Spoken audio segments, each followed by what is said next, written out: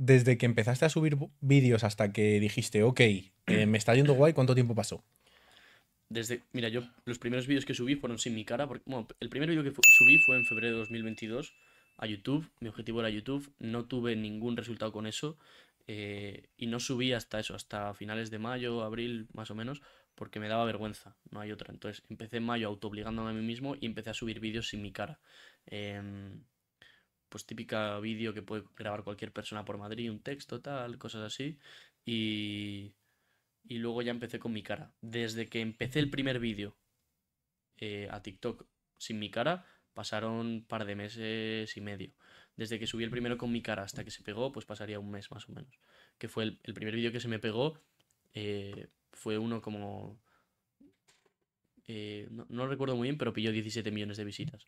Y, y eso pegó un, una explosión en mi cuenta brutal, ya te digo, yo gané 100.000 seguidores en un día, ese día que se pegó viral, eh, 4.000 personas nuevas a YouTube, ¿sabes? Moneticé el canal de YouTube en ese, en ese momento y desde ahí el crecimiento fue exponencial, ¿sabes? Tuve como, como baches en los que me frenaba, tal, pero siempre seguía subiendo. Ahora con retrospectiva la curva es así, ¿sabes? Claro.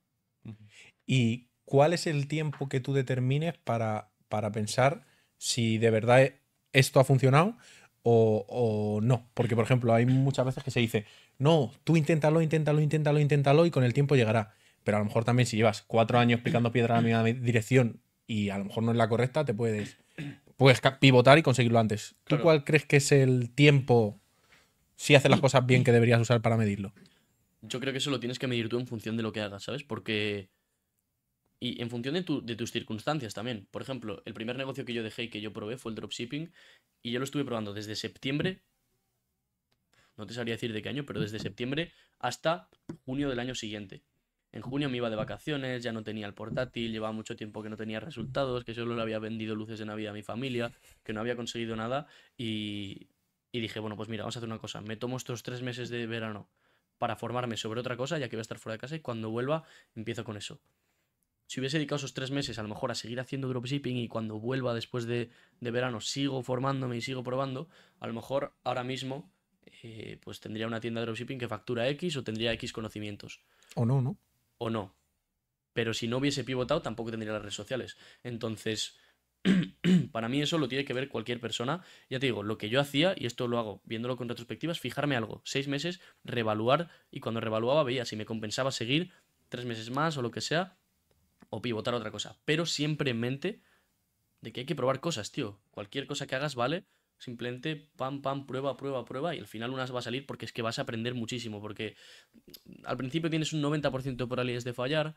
Después, como aprendes un poco, pues tienes un 88. Y después, como aprendes otro poco, pues un 86, tal. Y al final, pues ese porcentaje juega a tu favor y es cuando las cosas salen bien.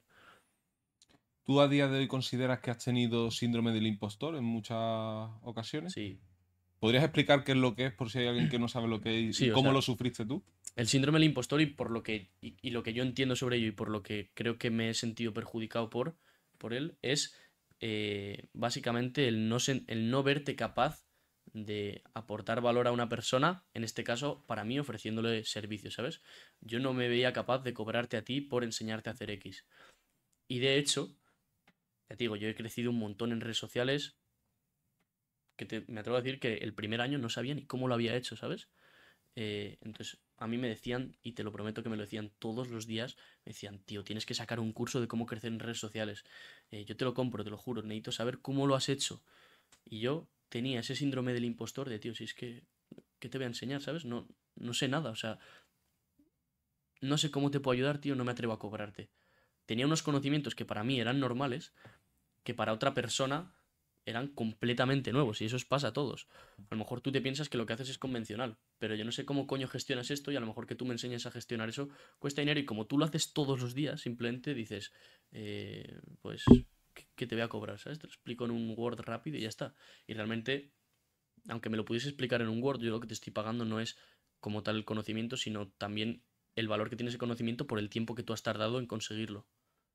Entonces yo lo he sufrido un montonazo, tío. Y de hecho, eso y combinarlo con ser muy perfeccionista me ha hecho a crear las cosas tan bien como las estoy creando ahora mismo, ¿sabes? Por ejemplo, el proyecto este que te he dicho me ha gastado 15.000 pavos únicamente en que todo lo que se ha grabado se graba en un estudio con doble cámara 6K, solo para porque yo lo veo mejor así, ¿sabes? Porque luego a una persona le da igual si una cosa está grabada a 6K o a 4, Ya. Ni lo da el monitor. ni lo da, ¿sabes? Pero por manía personal de ser perfeccionista y porque no quiero sufrir eso, quiero que mi producto sea tan bueno, también en ese sentido me ha venido bien, porque como que me ha hecho hacerlo todo lo mejor posible para intentar eliminarlo. ¿Tú crees que el que tu marca personal se base en desarrollo personal emprendimiento y tal, y que te vean tan joven, te ha restado más que sumado o crees que te ha sumado más que restado? O sea, mira, lo que a mí me hizo viral, lo dicho, esto no lo sabía cuando lo hice, esto lo sé ahora que lo he estudiado. Cuando yo me hice viral, me hice viral porque traje un mensaje disruptivo con una imagen poco convencional y en un timing perfecto. El timing perfecto no lo puedes controlar, pero la imagen y el discurso sí. La imagen, ¿qué es? Pues Dionibi, la barba, tal, el aspecto que él tiene. Tú tu aspecto y yo el mío, que era el aspecto de un niño, que combinado con el mensaje que yo daba de desarrollo personal, de motivación, de superación, chocaba mucho, ¿no? ¿Qué coño me está diciendo este chaval que tiene 16 años, pero que parece que tiene 13 sobre desarrollo personal? ¿Qué, me va a aportar a mí? Y fue esa imagen lo que chocó y justo el momento perfecto porque yo empecé a hablar de eso, de emprendimiento, justo con el boom de que TikTok empezó a, pegar un montón a Andrew Tate, que empezó como todo el contenido de desarrollo personal eh, y, de emprendimiento en general. El canal de Adrián Sáenz también empezó a volar. Además veníamos de un bull run cripto, como que se juntaron muchas cosas ahí. Y, esos, y esas tres circunstancias fueron las que a mí me hicieron despegar. Entonces, para nada creo que me haya perjudicado. A lo mejor a nivel de hate, de que me hayan tirado hate, sí, obviamente, pero es que para mí eso no es perjudicial, ¿sabes? Para mí eso es como gasolina, porque lo hace despegar todo mucho más rápido. O sea, ¿te han dicho cosas muy feas o te han tirado mucha mierda? Sí, me han tirado mucha mierda porque yo también considero que he cometido errores, obviamente, y una cosa de la que estoy muy orgulloso y que, y que creo que me honra es que, como te he dicho, mi finalidad con el canal de YouTube fue siempre documentar todo mi proceso y por mis valores y, y por la idea que yo tenía y el respeto que tenía a mí mismo de cumplir eso, yo en mi canal he contado tanto lo bueno como lo malo que he hecho.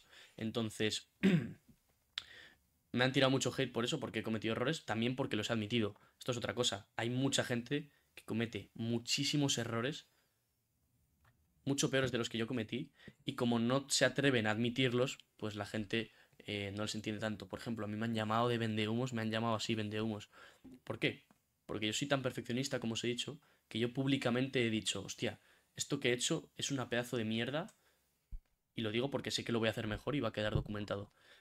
Pero esto que he hecho es una pedazo de mierda. ¿Qué pasa? Que la gente eh, ni siquiera intenta entender el porqué, simplemente te escucha decir eso y ya, bueno, pues este tío, es- este tío admite que es una mierda, tiene que ser una mierda, pero por tres, porque si lo dice él ya, tiene que ser brutal, ¿sabes? Em, entonces eso, a mí me han llamado vendehumos, me han llamado... Bueno, me han dicho un montón que esto es verdad, pero ni me escondo, ni mucho menos, eh, ni me preocupa, me parece que está bien, eh, que yo hablaba, típico vídeo de modelos de negocio, cómo ganar dinero con modelos de negocio, cuando yo solo ganaba dinero de YouTube, que eso es verdad, y precisamente por eso yo no explicaba esos modelos de negocio, sino que traía referentes. Es decir, tú- cuando tú te pones a estudiar todo el hate que te tiran, y a ti te pasará seguro, Mm. cuando te pones a estudiar el hate, dices, tío, pero ¿cómo me puedes decir esto si a la que investigues 15 minutos te das cuenta de que lo que dices no tiene ni pies ni cabeza, ¿sabes? Y bueno, realmente lo único que preocupa es que te llamen cosas que tú sabes que no eres, pero que es la imagen que estás dando. Eso es lo que de verdad duele, porque dices, tío, si es que no soy así, pero es que realmente entiendo que me vean así, ¿sabes? Y eso es lo que más duele porque frustra mucho, es como una impotencia brutal. Eh, entonces, bueno, sí, me han tirado hate, pero no me molesta y también creo que me ha construido mucho. A mí lo que me llama la atención es como el hate de personas random lo utilizas como gasolina, pero a su vez a lo mejor la opinión de colegas y tal tuyos sí te influía más. 100%. Eso es algo que a mí me choca mucho porque no... O sea, al final, a lo mejor un random no, tú dices, este tío es un fracasado, ¿qué me va a contar? Sí, pero no Pero es lo un mismo colega tuyo- un comentario de un colega a que te lleguen, yo qué sé, 3.000 comentarios avasallándote a críticas negativas, o críticas negativas o hate que se meten con tu aspecto, que se meten con tal, que dependes un poco de la estabilidad emocional que tú tengas, porque habrá días que te afecte menos y hay días que te afecta más. Claro. Sí, Sobre todo también siendo tan joven. sí, sí, Por sí. eso. O sea, también es que, mira, por ejemplo, lo de Irlanda, el estar tan solo, y además que yo de pequeño también en el colegio como que, lo he dicho, el ser tan introvertido tal, y yo antes estaba más gordo y a mí como que siempre me... Mis colegas de vacile, pero es un vacile que jode, en plan, hacían lo típico a un gordo de tocarle la teta. Esas cosas así, que... Te ríes, pero es que, es que no sabemos el daño que puede Es que hacer. me, hermano. me río porque es que literalmente el mundo es así. O sea, Sí, sí, sí, pero y, y y eso me hizo también, yo a veces decía, tío, si es que paso de quedar con mis amigos, que sé que lo hacen de coña y están vacilándome y realmente si tengo un problema puedo contar con ellos, es que me van a hacer lo de la teta, bro, y no quiero quedar con ellos, ¿sabes? Entonces eso me hizo aprender a estar muy solo y que, y que todo lo que me dijesen fuese como me entra por un oído y me sale por el otro. Em, entonces, y luego lo que os iba a decir, que lo del hate, la gente que tira hate al final todo lo que tú dices y haces es un reflejo de lo que has vivido.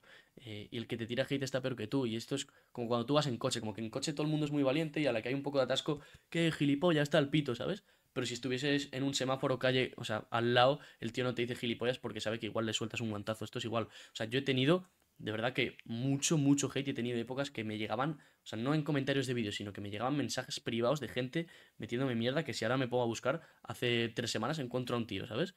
Y mm, y lo dicho, que estas personas realmente, eh, lo primero que el problema lo tienen ellos y lo segundo que ni siquiera se han parado a pensar qué es lo que están haciendo y por qué lo hacen. Como que tienen una vida muy aburrida y, prefieren hacerte esa mierda. Y que luego en persona, ya te digo yo, como te he dicho, en, en mensajes he tenido mucho hate y en persona no ha habido nunca nadie que me diga nada, ¿sabes? O sea, seguro que te pones a mirar y ves un tío que te insultaba y luego a, los seis meses una historia mencionándote porque te ha visto por la calle y te ha pedido una foto. Mira, yo te garantizo que me encuentro a un tío de los que me ha llamado Vendemos por la calle y me pide una foto 100%.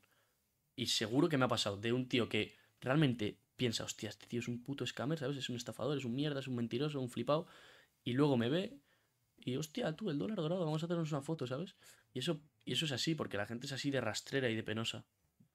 Sobre todo el, mensaje que tú lanzas, que es muy, muy bueno, el, entender el hate como, como lo mal que está esa persona por tener esa necesidad de proyectar su, malestar hacia ti. Lo has clavado, tío.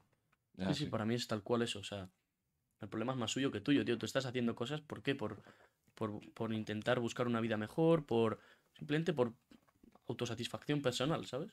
Y en cualquier punto de tu vida. Entonces, incluso a los tíos estos que hemos dicho de motivación, desarrollo personal, que hablan si a lo mejor eh, tener ese desarrollo personal, me parece bien que lo hagan y admiro más a esas personas que me parece que tendrán que pivotar o tendrán que evolucionar, admiro mucho más a esas personas que a un tío que no hace nada, ¿sabes? Porque ese tío ya está haciendo cosas por lo menos, ¿sabes?